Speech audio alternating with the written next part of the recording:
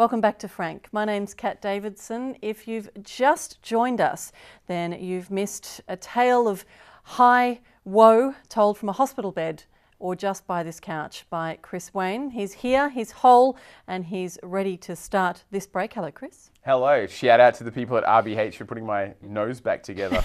yeah. And blessedly, uh, the medical profession has been on standby also for Nick Bartlett, who is uh, our actor, uh, recently graduated uh, from QUT Academy of the Arts. And uh, you're a more accident prone person. Yeah, When I was a kid, when I was a kid, when I was younger, when I was younger, I was a bit. Oh, what's the PC term? Oh, I get in trouble. I want to say tard. I was a tard. No, don't say that. No, that's it. Oh, What's the term? No, it's well, it's certainly not that. So when you were when you were I wonder who their favourite guest is right oh, now on the You, show. you. when you were younger, Nick, were you the kind of kid that your mum sent out with the stack hat because No, she, she was, wanted to. I just wouldn't wear it because it was big and yellow. She tried, like a proper stack hat. She tried once. Were you on a bike or were you were just going out for a walk? She was a bit worried. on a bike.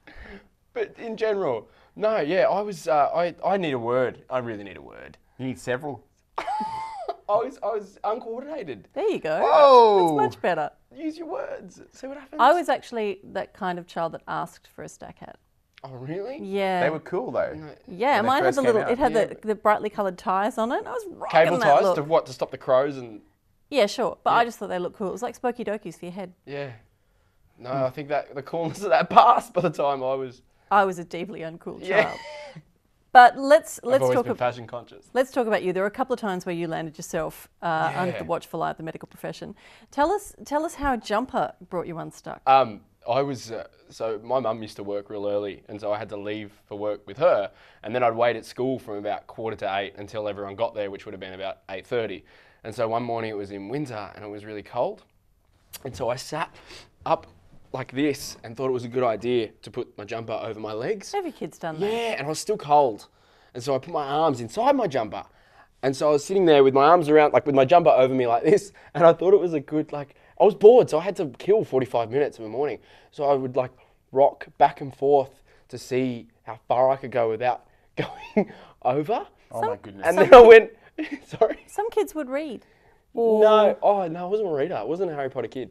And so I was rocking back and forth and I went too far forward. And then as I went over, I tried to put my arms out to save me, went like that, tried to put my legs out to save me, and the first thing that connected with the ground was my forehead. Wow. Yeah, it sucked really badly. What effect did that have? The wind was the worst because I had this dirty big graze right here. and the wind was the most painful because I remember my mum worked in the city and she had to come and get me, which is a half an hour train, and then take me to the doctors. And I remember the worst part was be walking down the main street of Mortdale, which is where I'm from, and wind hitting it, and having to walk backwards down the street. Like Michael Jackson with a head injury. but without the moonwalk. so I was like, Mum, it really hurts. It really hurts. Like it- the wind, it really hurts. She's like, Oh, it's fine. But it's like imagine an open wound here with no flesh to.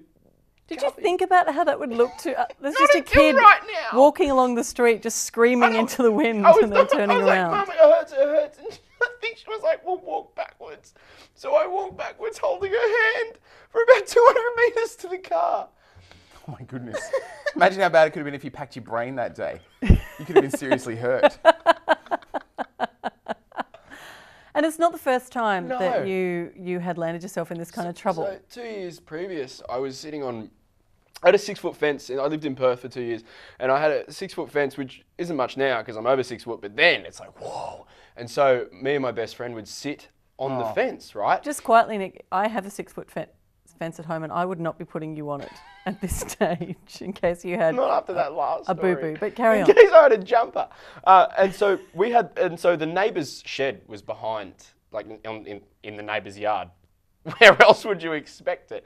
And so me and my best friend would sit and lie back on the shed because I don't know, ponder life and talk and whatnot.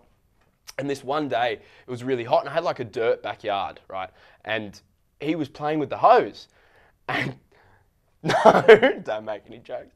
Um, he was playing with the hose and spraying me, and it was all fun and games. And I was like, ah, and I'd fall back on the shed. And then we started talking, and and, and we. Well, I was going to say one thing led to another. I'm really thinking of my words and how that comes across. And so I and and so then he sprayed me again, and I went ah, and didn't know that I moved across. And so I tumbled backwards off the six foot fence onto the steel guttering that was on the bottom and created, I don't know if you can see that, but that bad boy. It's No, about that just looking at your hair I could get, yeah, I could, when I've got it, yeah, I could show, I could show you. And um, it, it was bad and I asked mum if I was going to die and she said no. And then I was in, uh, Were you walking forwards into the wind to avoid the screaming I, at this I, time? No, I back back rolled ass over head and landed on the uh, on the guttering, and I thought I was going to die at seven years old, which was pretty not the opposite of life affirming. I suck with words today.